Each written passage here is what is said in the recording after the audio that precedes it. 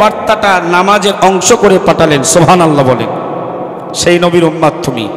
আচ্ছা রসুল্লাহ তেইশ বছরের নবুয়তি জিন্দগিতে ভাবলেন, মৃত্যুর সময় ভাবলেন, কবর থেকে ওঠার সময় ভাববেন, মেরাজে ভেবেছেন, কেয়ামতের দিন ভাববে বলে মনে হয়। হ্যাঁ? শিওর? কি করেছ সেই নবীর ভালোবাসা পাওয়ার জন্য?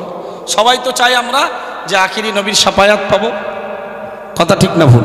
আচ্ছা এখন এই গ্রামের দশজন স্বরূপনগর থানার ক্রিমিনাল হিসাবে ধরা পড়েছে। এই গ্রামের মেম্বার সাহেব বা প্রধান সাহেব হেল্প করতে যাবেন যদি তার সঙ্গে তার সম্পর্ক ভালো থাকে। কথা ঠিক না ভুল? হ্যাঁ? তাহলে আপনি কেয়ামতের ওই কোর্টে যদি ধরা পড়েন, আসামি হন। ছাড়ানোর জন্য রসুল্লাহ আগিয়ে যাবেন সুপারিশকারী হিসাবে। যদি দুনিয়ায় আপনি তার সঙ্গে ভালো সম্পর্ক গড়ে যেতে পারেন। সম্পর্কটা যদি আপনি যদি ওই দলের লোক হন, ভোটগুলো যদি গণতান্ত্রিক পদ্ধতিতে মসজিদে গিয়ে যদি ঠিক ঠিক টাইমে ঠোকা হয়ে থাকে, তাহলেই তো তার সুপারিশ আপনার জন্য অবধারিত কথা ঠিক না ভুল? রসুল্লাহ সাল্লাম কায়ামতের দিনেও আমাদের কথা ভুলবেন না। কায়ামতের দিনেও নবী পাকের হাতে আল্লাহ প্রশংসার পতাকা লিয়াউল হাম তুলে দেবেন সোহান আল্লাহ বলে লিয়াউল হাম প্রশংসার পতাকা কেমতের দিন রসুল উঁচু করে ঘুরতে থাকবেন সোহান আল্লাহ বলে আল্লাহ নবী বলেছেন, আদম থেকে নিয়ে ঈশা পর্যন্ত সমস্ত নবীরা আমি নবী মোহাম্মদের পতাকা তলে আশ্রয় নেবে সোহান আল্লাহ বলে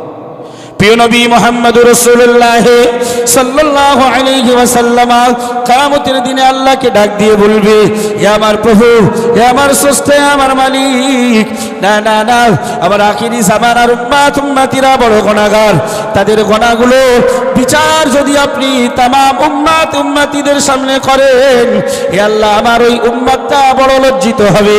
আমি রসুল্লাহ আখিরি জামানার নবী, নবীদিগের সর্দার। আমি আমিও ময়দানে মাহসারে কামতের দিনে অন্যান্য নবীর উম্মতের কাছে আমি রসুল্লাহ লজ্জিত হব। হে আল্লাহ আমার প্রভু, মালিক, স্রষ্টা।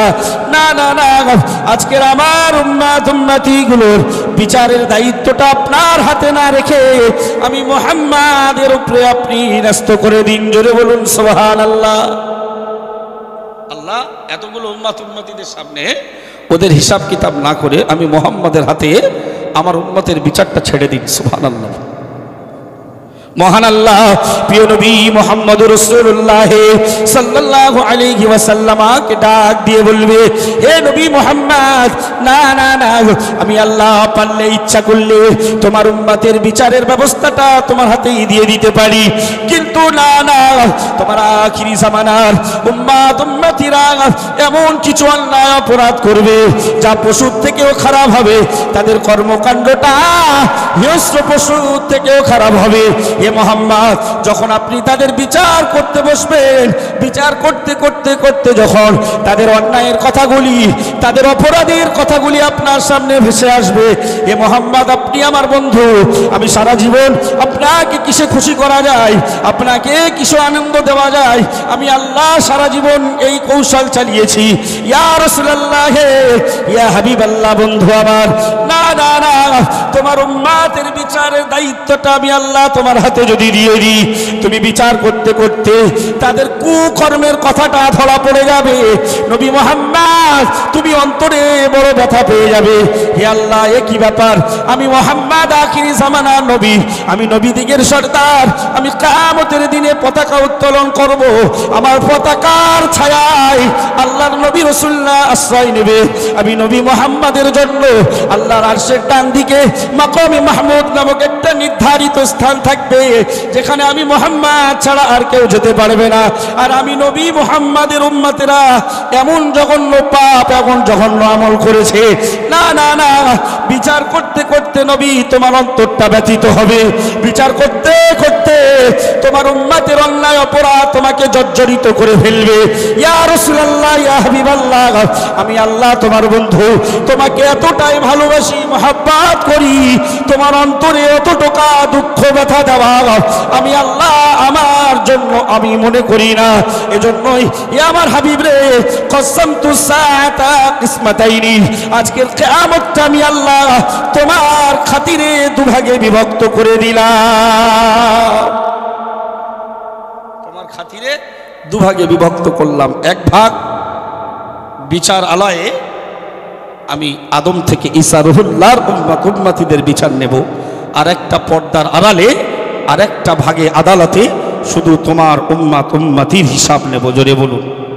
আর একটু জোরে বলে সেই নবীর উম্মাত, যার জীবনের, মরণের মরণের পরে সব সময়টা আপনার জন্য উৎসর্গিত, কোরআনের জন্য উৎসর্গিত। সেই নবীর উম্মাত আপনি, আর আপনি নিজের মূল্য না বুঝে পাগলের মতো রাস্তায় ঘুরে বেড়াচ্ছেন। প্রিয় শ্রোতা মণ্ডলী নবীর প্রেম, ভালোবাসা মহাব্বাত আমাদেরকে আঁকড়ে ধরতে হবে। রসুল্লাহ জীবন, আদর্শ, চরিত্রে তো এই পৃথিবীর মানুষ পাগল হয়েছিল, কথা ঠিক না ভুল। আমার নবী যখন পৃথিবীতে এসে মক্কার পবিত্র মাটির উপরে দাঁড়িয়ে আল্লাহর একত্ববাদের প্রচার দিয়েছিলেন, কোরআনের ঘোষণা দিয়েছিলেন, আর নিজের নাবুয়াতের স্বীকারোক্তি দিতে শুরু করেছিলেন, এক পিস মানুষও কি রসুল্লাহর পক্ষে ছিলেন? কথা বলেন। সবাই রসুল্লাহর এগেনেস্টে। সবাই রসুল্লাহর বিপরীতে সর্বপ্রথম পুরুষদের ভেতরেই বিশ্বাস স্থাপন করলেন হজরত আবু বকার সিদ্দিক রদি আল্লাহ মহিলাদের ভেতরে সর্বপ্রথম আমার নবীর প্রতি ইমানের কালিমা পড়ে সর্বপ্রথম বিশ্বাস স্থাপনকারিনী হলেন হজরত আম্মাজান খাদিজাতুল কবরা রাদি আল্লাহ জোরে বলেন না, সুবহানাল্লাহ। একটু শরীফ পড়েন, আল্লাহুম্মা সাল্লি আলা জোরে জোরে পড়েন মহব্বতের সঙ্গে পড়েন وعلى آل سيدنا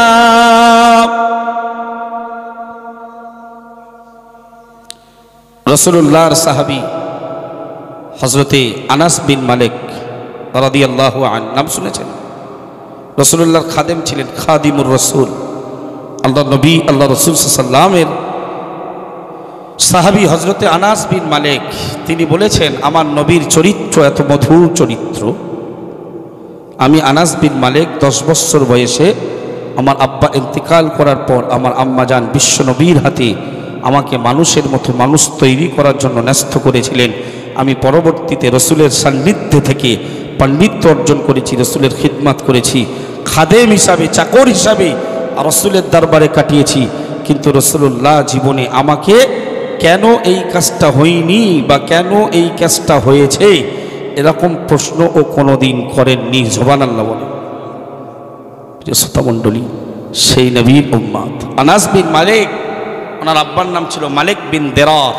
মালিক বিন দেরার মায়ের নাম ছিল উম্মে সুলাইব হজরত আনাস বিন মালিক যে আম্মা যান ইমানদার আব্বাজান মালিক বিন দেরার, বিশ্ববিখ্যাত কাফির। আনাস বিন মালিকের জন্ম। একদিকে ইমানদার আম্মাজান অপরদিকে পিতা কাফের আনাস বিন মালিক জন্মগ্রহণ করেছে। আস্তে আস্তে বড় হয়েছে, বুঝতে শিখেছে। আনাস বিন মালিকের আম্মাজান উম্মে সুলায়েব, উনি তার পুত্রটাকে ইসলামের দিকেই অগ্রসর করার কৌশল চালাচ্ছে সোহান আল্লাহ বলেন।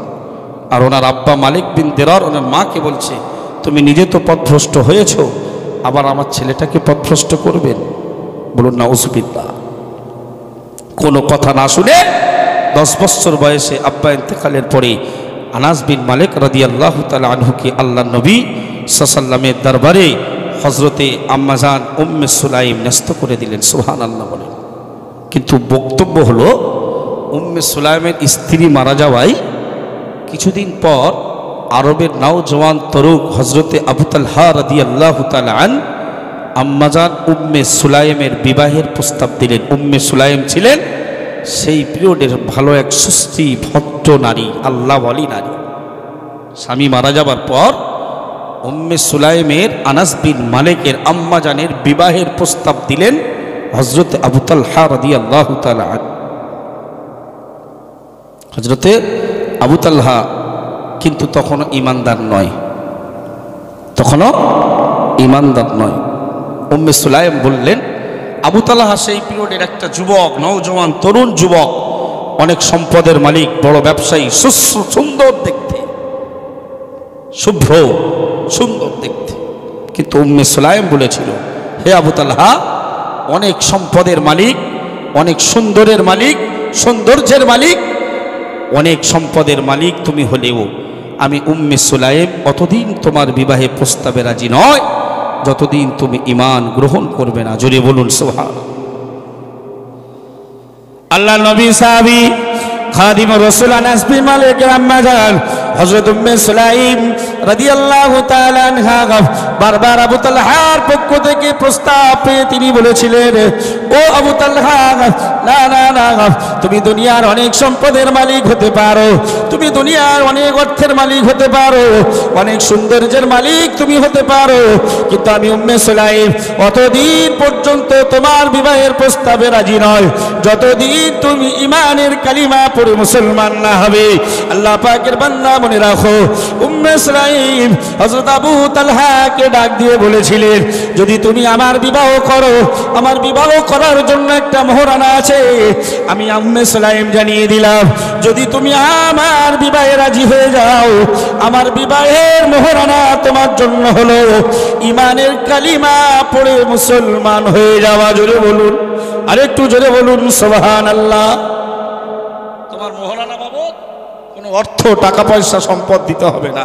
আমি সুলাইম জানিয়ে দিলাম, কালেমা পড়ে তুমি মুসলমান হও, এটাই তোমার আমার বিবাহের জন্য, আমার অন্ত, আমার অঙ্গের মালিক হওয়ার জন্য, ইজ্জতের মালিক হওয়ার জন্যই যথেষ্ট। জোরে বলুন না সুবহান প্রিয় নবীর সাহাবী হজরতে উম্মে সুলাইমের এই প্রস্তাবে তিনি রাজি হয়ে ইমান গ্রহণ করে তার সঙ্গে বিবাহ বন্ধনে আবদ্ধ হলেন। জোরে বলুন সুবহান আর একজন সাহাবী যারা রসুলের আদর্শে আদর্শিত হয়ে পৃথিবীর ইতিহাসে তারা নক্ষত্রের মতো একেবারে সুস্পষ্ট, তাদের মধ্যে আরেকজন সাহাবী হজরতে অমর ইবনুল খত্তাব রাদি আল্লাহু আন নাম শুনেছেন?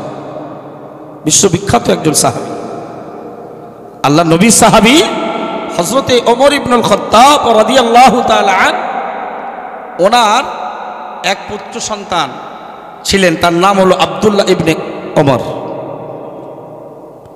অল্প বয়সে রসুল্লাহর প্রতি ইমান এনে রসুলের চরিত্রে, আদর্শে মুখর- মুখরিত হয়ে, তারা মুখরিত হয়ে, তারা পৃথিবীর এক একটা শ্রেষ্ঠ ইমানদার জোরে বলুন সোহান আল্লাহ এই জন্য তো আল্লাহ কোরআনের ভিতরে বলেছেন, ইয়া আইয়ুহান ইয়া আইয়ুহান নাস মানব জাতি আমিনু, তোমরা ইমান নিয়ে এসো, কামা আমানান নাসু আমিনু ইমান গ্রহণ করো।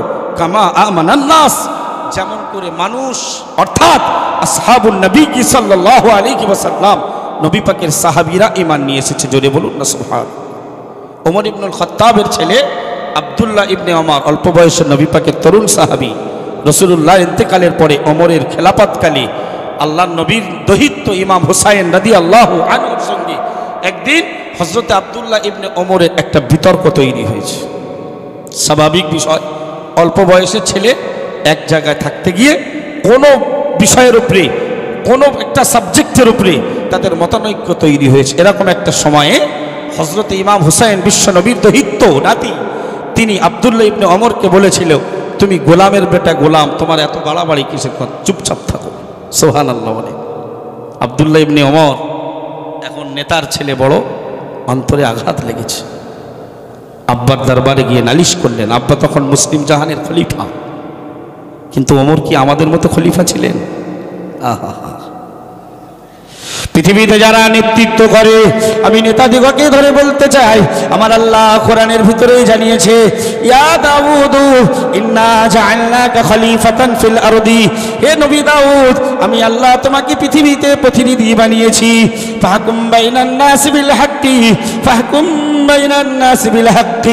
ও নবী দাউদ, তুমি মানুষের মাঝে নাই বিচার প্রতিষ্ঠা করো। হাওয়া, তুমি যেন মনের রিপুর অনুসরণ করে চলে না। তোমার মন যা বলে, নফস যা বলে, তোমার নফসের অনুসরণ, অনুকরণ করে যেন তুমি চলো না। বিচার করতে গিয়ে নেতা, ও নবী দাউদ, নেতা নবী, তুমি যদি বিচারের ব্যবস্থাটা ঠিকঠাক না করো, মানুষের ভেতরে যদি ন্যায় ইনসাফ প্রতিষ্ঠা তুমি না করো, আমি আল্লাহ তোমাকে জানিয়ে দিলাম, ফায়ুদিল্লাকা আন সাবিলিল্লাহি। তুমি আমার নবী হবার পরে পথভ্রষ্ট গোমরা হয়ে যাবে। পৃথিবীর যে যে অ্যাঙ্গেলে নেতা আছো, একটু সাবধান বার্তা দিয়ে দিলাম। কোরআনের তেইশতম পাড়া, সুরা সোয়াদের একটি বাক্য দিয়ে, জীবনটা ফ্রেশ করো, মুক্ত করো। আল্লাহ রসুলের সাহাবি হজরত ওমর ইবনুল খত্তা মুসলিম জাহানের খলিফা, রাতের গভীরে, রাতের আধারে মাথায় করে আটার বস্তা নিয়ে ঘুরতেন, কোন বাড়িতে খাওয়া হচ্ছে না। কোন বাড়িতে কান্নাকাটি হচ্ছে, বাচ্চাদের মুখে আহার জোটে না। কারণ কেয়ামতের দিন আমি ওমরকে এ বিষয়ে জবাবদিহি করতে হবে, জোরে বলুন। আর একটু জোরে বলে। সেই নবীর ছেলে আবদুল্লাহ ইবনে আমার হজরত ইমাম হুসাইনের ব্যাপারে নালিশ করেছে। আব্বা, হুজুর পাকসাল্লামের নাতি ইমাম হুসাইন, আমাকেও গোলাম চাকর বলেছে, আপনাকেও চাকর বলেছে। একটা বিষয়ে আমাদের মতনৈক্য হয়েছে। সেখানে তিনি আমাকেও চাকর বলেছে, আপনাকেও চাকর বলেছে। আমি এর বিষয়ে আপনার রাজশাহী ইসলামিক আদালতে আমি হুসাইনের বিরুদ্ধে বিচার চাই, মামলা দায়ের করলাম। বলল, বেটা এই বিষয়ে তুমি হুসাইনের কাছ থেকে লিখিত আনতে পারবে? বলল, জি হ্যাঁ। হুসাইনের কাছে আসলেন, ভাই হুসাইন, তুমি আমাকে যে গোলামের বেটা গোলাম বলেছ, লিখে দাও। বলল হ্যাঁ তোমার বাপ গোলাম, তুমিও গোলাম। আন্তা গোলাম মুবনি গোলাম। গোলামের বেটা গোলাম লিখিত দিলেন। আল্লাহ নবী সাহাবি হজরত ওমর ইবনুল খত্তাব নিজ পুত্র আবদুল্লাহ ইবনে অমরকে সান্ত্বনা দিয়ে বিচারের একটি নির্ধারিত ডেট ফিক্সড করলেন, সময় নির্ধারণ করলেন। সবাই দরবারে বসে আছে। ইমাম হোসাইন আবদুল্লাহ ইবনে অমরকে ডাক হলো।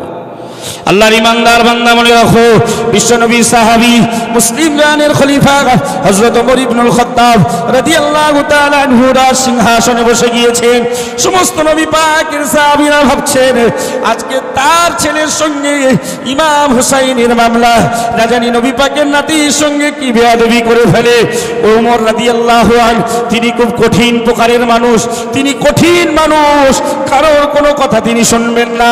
না না না ইমাম হোসাইনের সঙ্গে হয়তো হজরত মরির আজকের একটা কঠিন ব্যবস্থা নিতে হবে। আল্লাহ পাকের নবী সাহাবীরা ভাবছেন, বিশ্ব নবী সাহাবী মুসলিম জাহানের খলিফা ওমর ইবনুল খত্তাব রাদিয়াল্লাহু তাআলা আব্দুল্লাহ ইবনে ওমর, অপরদিকে বিশ্ব নবীর নাতি ইমাম হুসাইনকে ডাক দিয়ে বললেন, ও নবী পাকের নাতি ভাই ইমাম হুসাইন, তুমি কি আমার বেটা আব্দুল্লাহকে গোলামের বেটা গোলাম বলেছে বাবা। আল্লাহ নবীর নাতি, বিশ্ব নবীর নাতি, ইমাম হোসাইন নদী আল্লাহ সেই সময় রাজ দরবারে দাঁড়িয়ে বলেছিলেন, ও হুজুর মুসলিম জাহানের খলিফা, ওমর ইবনুল খত্তাব ভাই, আমি আমার চামড়ার চোখ দিয়ে আমার নবী পাকের আপনার গোলামর্তি করতে দেখেছি। আমার চামড়ার চোখ দিয়ে আপনার পুত্র অল্প বয়সে বাল্যকালে ইমান গ্রহণ করতে দেখেছি এবং আমার নবীকে খিদমাত করতে দেখেছি। এজন্যই আমি আপনাদেরকে গোলামের বেটা, গোলাম আপনার ছেলেকে বলেছি। আল্লাহ নবী সাহাবি, মুসলিম জাহানের খলিফা হজরত অমর ইবনুল খত্তাব সেই সময় রাজ দরবারে রুজি রোজারা মন্ত্রীদেরকে ডাক দিয়ে বলেছিল, আমি অমর ইবনুল খত্তাব, এতদিন ধরে আমার নবীর গোলামতি করেছি, আমার নবীর খেদমাত করেছি। ওই বিষয়ে আমার কোনো লিখিত সার্টিফিকেট ছিল না। আমার রাজ দরবারে রুজি রোজারা আমি অমর ইবনুল খত্তাব পৃথিবী থেকে যেদিন বিদায় নিয়ে নেব, আমি অমর ইবনুল খত্তাবের গোসল দেওয়া হবে। আমি অমর ইবনুল খত্তাবের ইসলামিক ইউনিফর্ম ড্রেস কাফনে কাপড় পরিয়ে দেওয়া হবে। কাফনের কাপড়ের ভেতরে রসুল্লাহর বেলাট রসুল্লাহর রক্ত, যোগ্য উত্তর শুনি, যোগ্য নাতি, ইমাম হোসাইনের দেওয়া সার্টিফিকেট, আন্তা গোলাপ ইবনু গুলাবিন ওই সার্টিফিকেটটা আমার কাফনের ভিতরে দিয়ে মাটি দিয়ে দেবে। যেদিন কামত সংগঠিত হবে, আল্লাহর নির্দেশে আমি কামতের ময়দানে দণ্ডমান হব। আল্লাহর পক্ষ থেকে যেদিন হিসাব কেতাবের জন্য আমি অমরকে ডাক দেওয়া হবে, সেদিন আল্লাহ কাহারের সঙ্গে, জাব্বারের সঙ্গে আমি কথা বলার বাকশক্তি ক্ষমতা হারিয়ে ফেলব। আমি আল্লাহর সঙ্গে সেদিন আমার কথাবার্তা খরচ করার ক্ষমতা থাকবে না। সেদিন আমি মহান আল্লাহর আদালতে দাঁড়িয়ে কোনো কথা না বলে আল্লাহ রসুলের নাতি ইমাম হুসাইনের দেওয়া সার্টিফিকেট আনতা গোলাম ইবনু গোলামীর তুমি গোলামের বেটা গোলাম। এই সার্টিফিকেটটা দিয়ে আমি আল্লাহর কামতের আজাব থেকে মুক্তি নিয়ে নিতে চাই। প্রিয় শ্রোতা মণ্ডলী, কি প্রেম? রসুল্লাহ সাহাবি ওমরের ব্যাপারে রসুল বলেছেন, আনা খাতামুন নবী আমি নবীদিগের শেষ। লা নবী ইয়া বাদি আমার পরে আর নবী। কিন্তু কোন কোন মূর্খ বলছে, যদি নবী হতো, আমার দাদু হতো নাউজুবিল্লাহ বলেন। কেউ কেউ বলছে ইউটিউব ফেসবুক খুলে দেখেন কেউ কেউ অযোগ্য উত্তরসূরীরা বলছে যদি নবী যদি হতো আমার দাদুজান হতেন? নাউজুবিল্লাহ বলেন। ছি ছি ছি ছি ছি। এলেম নেই কালাম নেই অযোগ্য উত্তরসূরি। দল্লাহ আদাল্লাহ নিজে জাহান নামে যাবে। আর ভক্তবৃন্দদেরকেও অনুরাগীদের অনুচর তাদেরকেও জাহান নামি বানাবেন। নাউজুবিল্লাহ বলেন। ছি ছি, ছি। আচ্ছা ঠিক আছে। প্রিয় শ্রোতা মণ্ডলী বিশ্বনবী সাহাবি ওমর ইবনুল খত্তাব, যার ব্যাপারে রসুল্লাহ বলছেন, আমার পরে নবী আসবে না লাউকান আবাদি নবিয়ুন আমার পরে যদি কেউ নবী হতো বলেন। তাহলে নবীর সিলসিলা যদি জারি থাকতো, আমার পরে আমার সাহাবি ওমর ইবনুল খত্তাব নবী হতেন। এত বড় কদর, জলিলুল কদর সাহাবি।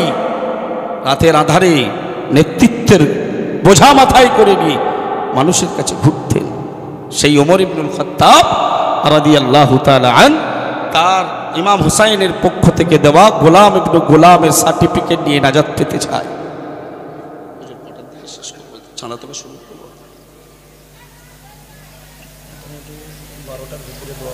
আলহামদুলিল্লাহ।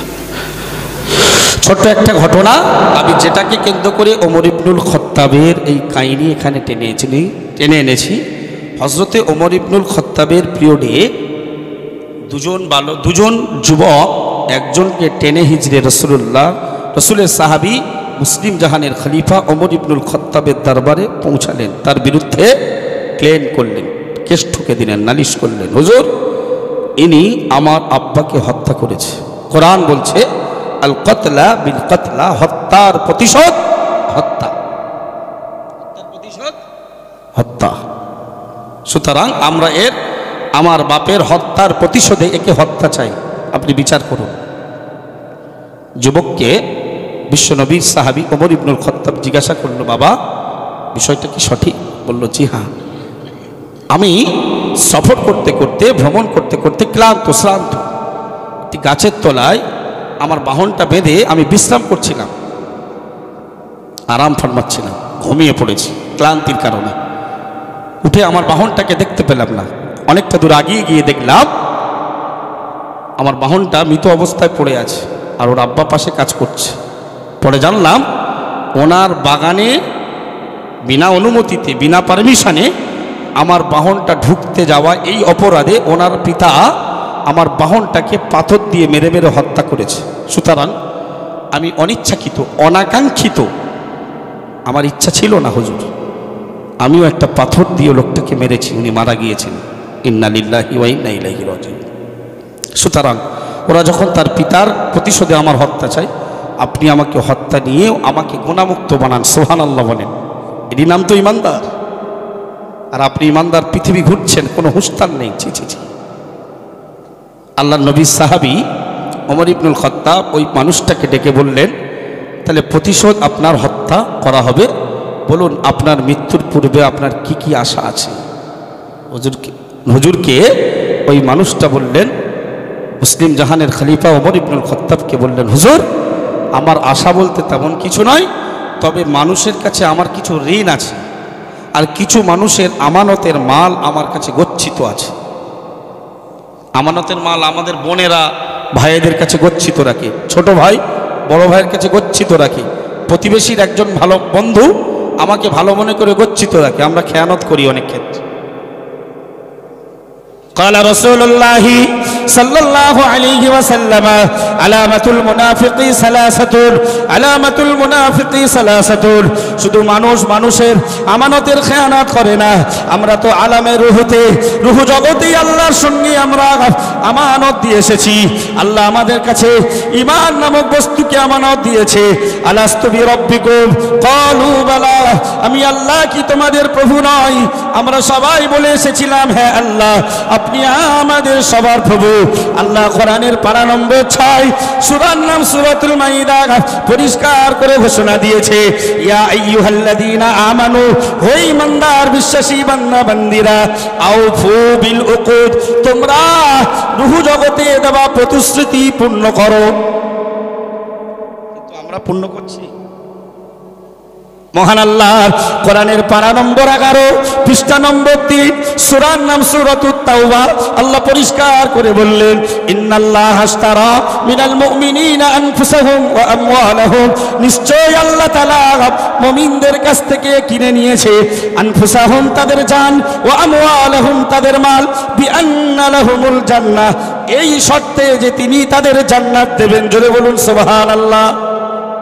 ইমানদার জান্নাত পাবে আল্লাহকে দুনিয়ায় জান আর মালকে বিক্রয় করাই দেওয়ার জন্য, জোরে বলেন। আল্লাহর কাছে দুনিয়ার মানুষ জান, মালকে বিক্রি করার কারণে আল্লাহ এদেরকে জান্নাত দেবে। সুতরাং প্রত্যেকটা স্টেপে, প্রত্যেকটা মুহূর্তে, সময়ে মানুষের কদম সময় ব্যয় করতে হলে, মাল ব্যয় করতে হলে ভাবতে হবে।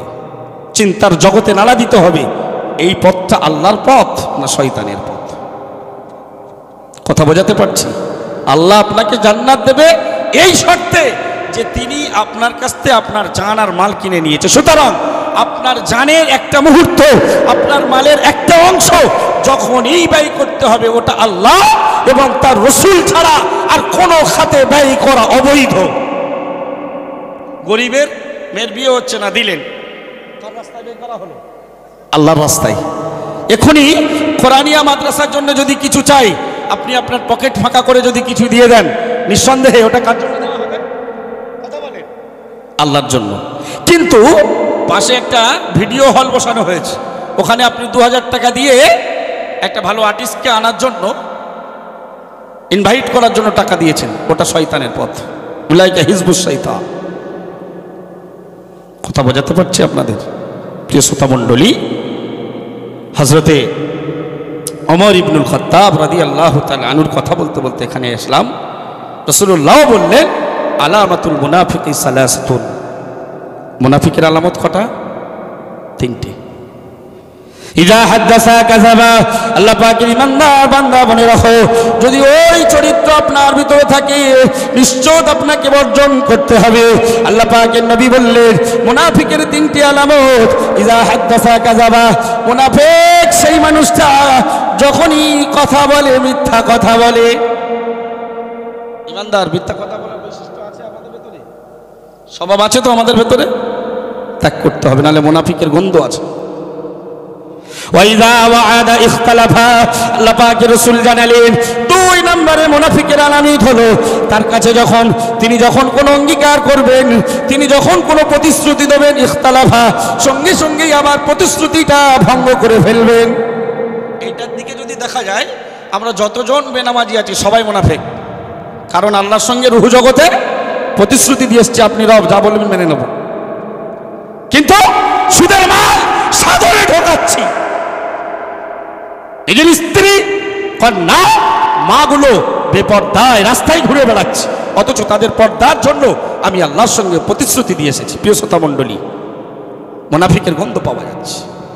প্রিয় নবী মোহাম্মদ রসুল্লাহ ওয়াসাল্লাম তিন নম্বরে মুনাফিকের চিহ্ন বর্ণনা করলেন, ওয়াইদা তুমি না খানা যখন তাদের কাছে আমানতের মাল গচ্ছিত রাখা হবে, খানা খানা খানা তারা খানাত করে ফেলবে। সুতরাং যদি কেউ সমাজের আপনাকে ভালো মনে করে, আপনার কাছে আমানতের মাল গচ্ছিত রাখে। খবরদার, তাদের মালগুলো বুঝে ফেরত দিও। উনিও বললেন, হুজুর, আমি আমার কিছু ঋণ আছে পরিশোধ করব আমার আছে কিছু মাল আছে, এগুলো আমি একটু ফেরত দেবো, সময় দেন আমাকে। অমর ইবনুল খত্তাব বললেন, সময় দিলে দিতে পারি, তবে একজনকে তোমার পক্ষ থেকে জামিনদার বানাতে হবে, কারণ তুমি আর নাও আসতে পারো। কথা ঠিক না ভুল? আবার এরম আমরা করেছি তো অনেক জায়গায়। প্রতিশ্রুতি দিয়ে আগামীকাল দেবো, পাঁচ দিন পরে দেবো, আর কোনো সাক্ষাৎ নেই, তাই না? ছি ছি, এটা ইমানদারের বৈশিষ্ট্য নয়। এটা রসুল্লাহর চরিত্র নয়, এটা শয়তানি চরিত্র। চরিতার্থগুলো, শয়তানের এই চরিত্রকে আমাদের বর্জন করতে হবে। আল্লাহ তৌফিক দান করুক, বলেন আমি একজন সাহাবি, নাম তার আবুজার গেফারি রাদি আল্লাহান কারণ যে মানুষটাকে রসুল, রসুলের সাহাবি অমর ইবনুল খত্তাব বলছে, একজনকে জামিনদার বানাতে হবে। উনি বলছেন, এখানে আমার এমন কোনো নিকটত্ব আত্মীয় নেই যে আমার পক্ষ থেকে জামিনদার হবে। কিন্তু অপরদিকে লক্ষ্য করে দেখা যায় বিশ্বনবীর একজন প্রবীণ সাহাবি। আহ! সম্মানিত সাহাবি হজরতে আবুজার গেফারি হুজুর দাঁড়িয়ে গিয়েছেন জামিনদার হওয়ার জন্য সোহান আল্লাহ বলে ওই মানুষটাকে ছেড়ে দেওয়া হলো। সব মানুষ ভাবছে আবুজার চেনে না, বোঝে না, ওর সঙ্গে সম্পর্ক নেই, মানুষটার জন্য দাঁড়াচ্ছে, জামিনদার হচ্ছে, অথচ ওর প্রাণদণ্ড দেওয়া হবে। যদি ওকে না পাওয়া যায়, তাহলে আবুজারকে প্রাণদণ্ড দেওয়া হবে। সুতরাং আবুজার কেন এই ভুল সিদ্ধান্ত যাচ্ছে? আবুজার দাঁড়িয়ে গেলেন। ওই মানুষটাকে ছেড়ে দেওয়া হলো। দ্রুতগতিতে বাড়িতে গেলেন। ঋণ পরিশোধ করলেন, আমানতের মাল ফেরত দিলেন। আবার আব্বা, আম্মা, নববধূর কাছ থেকে বিদায় নিয়ে দ্রুতগতিতে বাহন ছোটালেন। কিন্তু জুমার দিন হয়ে গেছে। পত্র বাহনের দিয়ে আল্লাহর নবীর ফারি, সাহাবি ওমর ইবনুল খত্তাব পিয়নকে দিয়ে পত্র লিখলেন আবুজারের কাছে। আবুজার জুমা পর্যন্ত যদি উক্ত ব্যক্তিটি এসে না পৌঁছায়, তাহলে জুমার নামাজের পরে ফাঁসির কাছে আপনার জামিনদার হিসাবে ঝোলানো হবে। প্রস্তুত থাকো। পত্র পৌঁছে দেওয়া হলো। জুমার নামাজ হয়ে গেল। সেই ব্যক্তিকে দেখতে পাওয়া যাচ্ছে না, উপস্থিত হতে দেখতে পাওয়া যাচ্ছে না। সবাই কাঁদছে। আবুজারকে ফাঁসির কাছে ঝুলিয়ে দেওয়া হবে। অপরদিকে তাকিয়ে দেখা যায়, আল্লাহ নবী সাহাবি, মুসলিম জাহানের খলিফা ওমর ইবনুল খত্তাব কান্নাকাটি শুরু করেছে। বাবা জাল্লাদ সারা জীবনে কত মানুষকে ফাঁসির কাছে ঝুলিয়েছে, কিন্তু জাল্লাদের চোখ দিয়ে পানি পড়ছে। টপ টপ করে বিশ্ব নবীর একাধিক সাহাবিরা কাঁদছে। একটা নিরপরাধ মানুষ, একটা মানুষকে না জেনে শুনে তার জন্য জামিনদার হওয়ার কারণে আজকের বিনা দোষে, বিনা অন্যায় ফাঁসির কাছে ঝুলে যেতে হবে। এ মুসলমান নওজোয়ান তরুণ যুবকেরা, একটু লক্ষ্য করে ভাবার বিষয়টা চেষ্টা করুন, একটু ভাবার চেষ্টা করুন, বোঝার চেষ্টা করুন। হঠাৎ করে দেখা গেল, দূর থেকে ধুলো উড়িয়ে, ঝড় উড়িয়ে একটা ব্যক্তিকে যেন ধরের গতিতে আসছে। জাল্লাদ বলল একটু অপেক্ষা করো। দেখা যাক লোকটাকে দেখা গেল, পৌঁছালেন যখন সেই মানুষটা সোহান আল্লাহ বলেন, ওমর ইবনুল খত্তাবের কাছে গিয়ে বললেন, হুজুর, বেয়াদবি ক্ষমা করেন। আমি ঠিক সময় মতো আমার প্রয়োজন মিটিয়ে ফিরে পড়েছিলাম, রাস্তায় বার হয়েছিলাম। কিন্তু পথে আমার বাহনের পায়ে আঘাত হয়, সুতরাং আমার একটু লেট হয়ে যায়, সুস্থ করতে। বেয়াদবি ক্ষমা করুন এবং আমাকে ফাঁসির কাছতে ঝুলিয়ে আমাকে পাপ মুক্ত করুন সোহান আল্লাহ বলেন। আল্লাহ নবী সাহাবি, মুসলিম জাহানের খলিফা ওমর ইবনুল খত্তাব ওই আগন্তুক মানুষটাকে ডাক দিয়ে জিজ্ঞাসা করেছিলেন, ও যুবক, তুমি বলো, হে আল্লাহর বান্দা, তুমি বলো, তোমার তো প্রাণদণ্ড অনিরাজ্য তুমি তো এই দরবারে আসলেই ফাঁসির কাছে তোমাকে ঝুলিয়ে দেওয়া হবে। এ বিষয়ে তো একশো পার্সেন্ট তুমি জানতে, এরপরেও তুমি কেন আগিয়ে এলে? আল্লাহ নবী সাহাবিকে ডাক দিয়ে বললেন, ইয়া আল্লাহ নবী সাহাবি, ও ইবনুল খত্তাব আমি এই জন্য আমার মৃত্যু অনিবার্য, একশো পার্সেন্ট গ্যারান্টি হওয়ার সত্ত্বেও আমি এই জন্য দৌড়ে গিয়ে এসেছি, যেন আগামী দিনে, ভবিষ্যৎ দিনে, অদূর ভবিষ্যতে কোনো বেঈমান, কোনো মুসলিম যেন মুসলামের কলঙ্ক হিসাবে ইসলামের গায়ে কলঙ্কিত না করতে পারে, যেন বলতে না পারে একজন নির্দোষ মানুষ, একজন মানুষের সুবিধার্থের জন্য, সহযোগিতা করার জন্য আগিয়ে এসেছিল ওই নির্দোষ মানুষটাকে ফাঁসির কাছে ঝুলিয়ে দেওয়া হয়েছে। আবু জার গেফারি, যাতে নির্দোষী হিসাবে তিনি ফাঁসির কাছে না ঝুলতে হয়। ইসলামকে যাতে অদূর ভবিষ্যতে কেউ কলঙ্কিত না করতে পারে। ওই সিদ্ধান্ত নিয়ে মৃত্যু অনিবার্য হওয়ার পরেও আমি দৌড়ে এসেছি। জোরে বলুন সোহান আল্লাহ আবু জার গেফারিকে প্রিয় নবীর সাহাবি ওমর ইবনুল খত্তাব ডাক দিয়ে জিজ্ঞাসা করে, ও আবু জার গেফারি, তুমি না জেনা, না চেনা সত্ত্বেও ওর প্রাণদণ্ড হবে জানার পরেও তুমি কেন ওর জন্য জামিনদার হলে?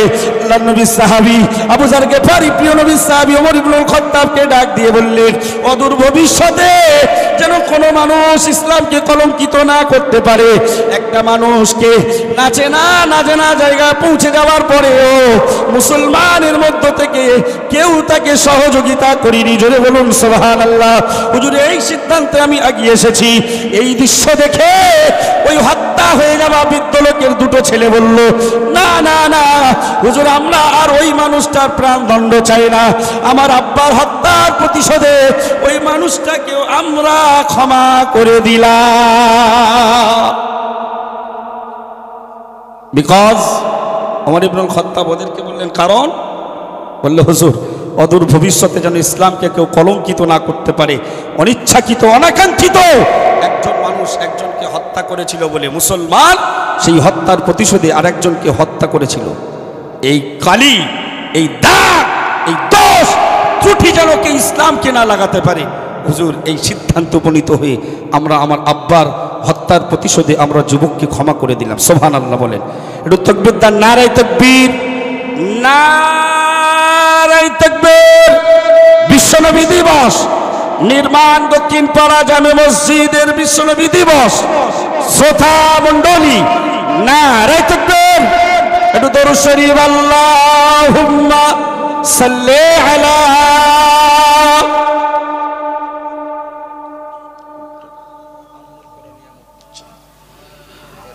আর নূর কোরআনিয়া মক্তব, জোরে বলুন জিন্দাবাদ। আর নূর কোরআনিয়া মক্তব, জোরে বলুন। মানে আলো। কোরআন মানে? কথা বলেন। কোরআন মানে? অ্যাকচুয়াল কোরআন মানে অনেক মুসলমান জানে না। কোরআন মানে কোরআন। শাব্দিক অর্থ ট্রান্সলেট করে যাচ্ছি। কোরআন শব্দের অর্থ হলো অধিক পাঠিত পুস্তক।